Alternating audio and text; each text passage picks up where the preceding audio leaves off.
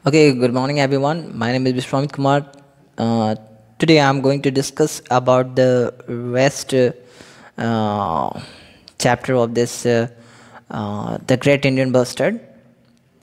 I'm just uh, इससे पहले मैंने पढ़ाया हुआ था आपको uh, कि ये बर्ड्स कहाँ पे पाए जाते हैं क्या नहीं uh, जैसे कि मैंने बताया होता कि ये जो है mostly uh, 150 I mean 150 birds बच चुके हैं हमारे इंडिया में जो राजस्थान, गुजरात में आप देख सकते हैं, कुछ महाराष्ट्र में देख सकते हैं, आंध्र प्रदेश में देख सकते हैं, कर्नाटका, मध्य प्रदेश में देख सकते हैं, लेकिन ये कम्प्लीटली है डिज़पियर हो गए हैं, पंजाब से, हरियाणा से उत्तर प्रदेश, उड़ीसा से, ठीक है? जैसे कि अनूप का ये क्वेश्चन रहता है कि कहाँ ये इसको देखा जा सकता है। अब आगे हम पढ़ते हैं कि अनूप का जो नेक्स्ट क्वेश्चन रहता है कि in did I read that it is in great danger somethings about beings critical in danger yes we need to protect uh, Miss Paul Karam, we need to protect it uh, so that it is it does not become extinct. Uh, when we say that uh, when we say that a species is extinct, uh, it uh, means that there is not a single living member left of the left of that species. देखिए ये completely अभी extinct नहीं किया है ये but extinct के कगार पे 150 कोई ज़्यादा आई मीन नंबर नहीं होता है तो वैसे ही देख सकते हैं, अनूप कहता है कि सच में मैंने इसको रीड किया है कि ये बहुत ज़्यादा डेंजर में है आई मीन इनका सिचुएशन सही नहीं है, कुछ इनके बारे में, जैसे कि कह रहा है कि ये क्रिटिकल इन डेंजर में है। तो मिस पॉल कर रहे हैं यस तो हमें क्या है कि इनको बचाने की ज़रूरत है है ना? ताकि ये एक्सटिंक्ट नहीं हो, है ना? मतलब कि विलुप्त नहीं हो एक्सटिंक्ट का मतलब विलुप्त होता है, ठीक है?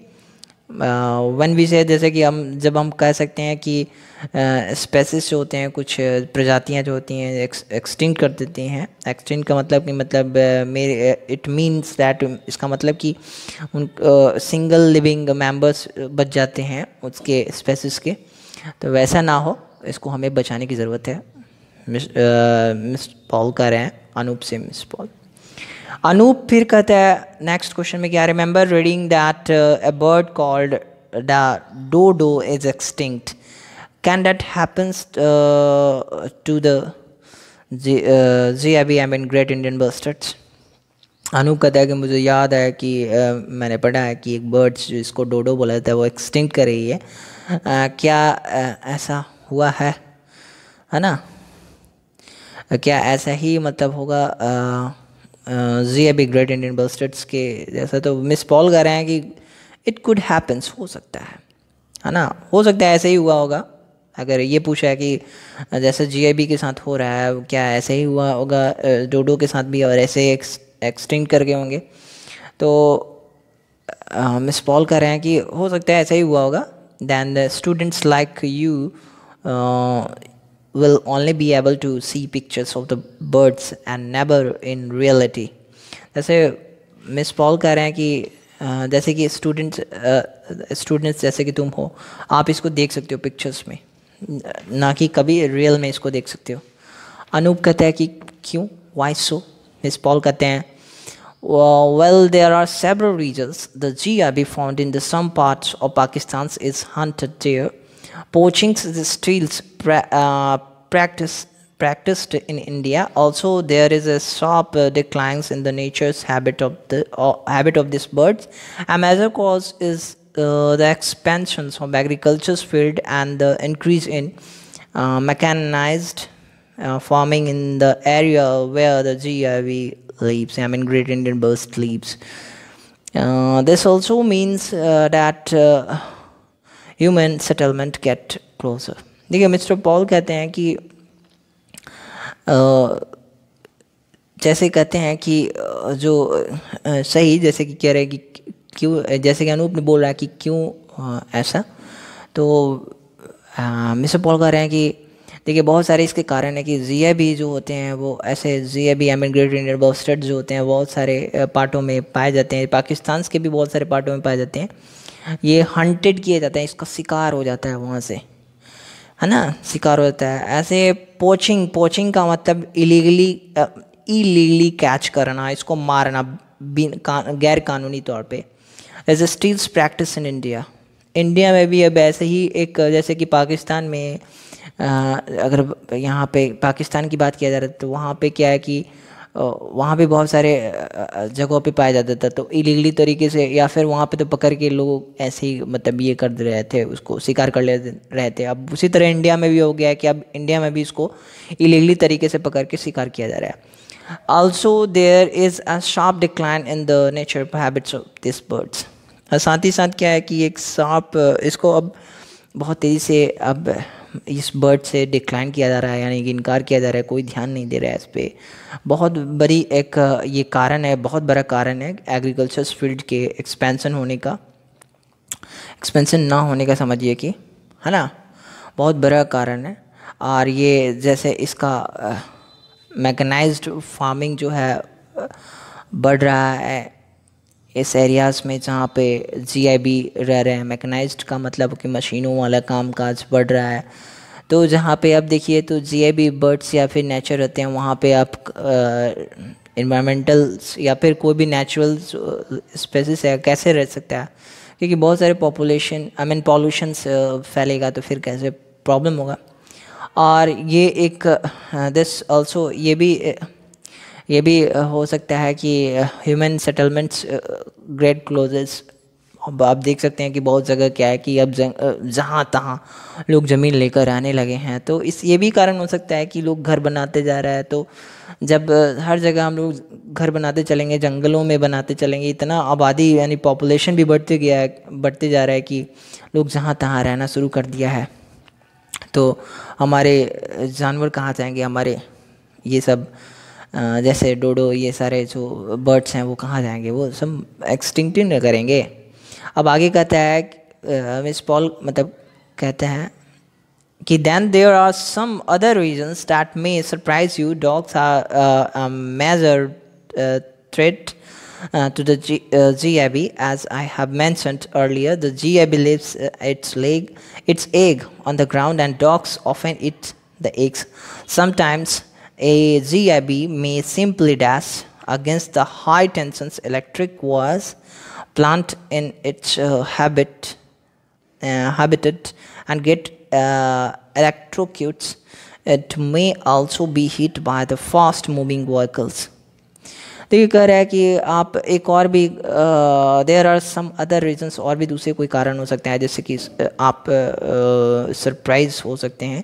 डॉग्स भी क्या है कि एक बहुत बड़ा चेतावनी बन गया है कि जीआईबी के लिए I mean great Indian bustards के लिए। जैसे कि हमने मेंशन किया है पहले ही कि जीआईबी अंडे देते हैं एक ग्राउंड पे और डॉग क्या होता है कि अक्सर क्या होता है, उसको खा जाता है डॉग्स है ना मतलब कुत्ते खा जाते हैं। समटाइम्स कभी कभी क्या होता है जी आई बी में simply dash against the high tensions electric wire plant in its habitat and great electro uh, electrocutes. G I कभी कभी क्या होता है जी आई बी जो है सिंपली uh, ऐसे हाई टेंशंस की वजह से इलेक्ट्रिक वायर्स या प्लांट वांट जो होते हैं वहाँ पे रहते हैं जहाँ पे बिजली के झटके की वजह से वो भी, बिजली के झटके लग जाने की वजह से वो भी मर जाते हैं। ऐसे भी होता है। It may also be hit by fast moving vehicles ऐसा भी होता है कि वो भागते रहते हैं, है ना? भागने से भी कहीं वाहन यानी व्हीकल्स से भी चलते हुए व्हीकल से भी टकरा के मर जाते हैं। ऐसा भी उनके कम होने का कारण हो सकता है। यानी कि ये सारे रीजन्स बताएँ कि बहुत सारे रीजन्स हैं। उनके कम होने का आई I मीन mean,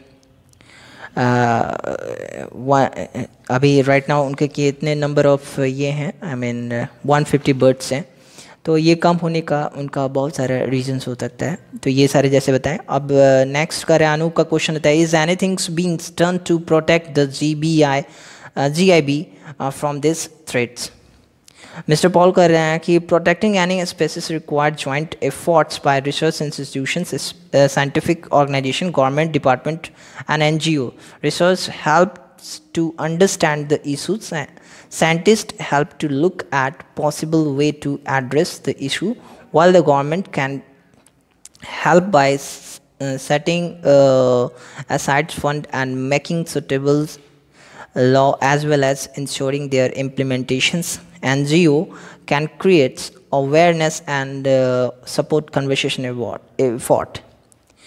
जैसे कि अनूप का अगला क्वेश्चन रहता है कि क्या कोई चीज़ अब इसको प्रोटेक्ट कर सकते हैं जी को ऐसे चेतावनी से ऐसे मतलब ख़तरे से?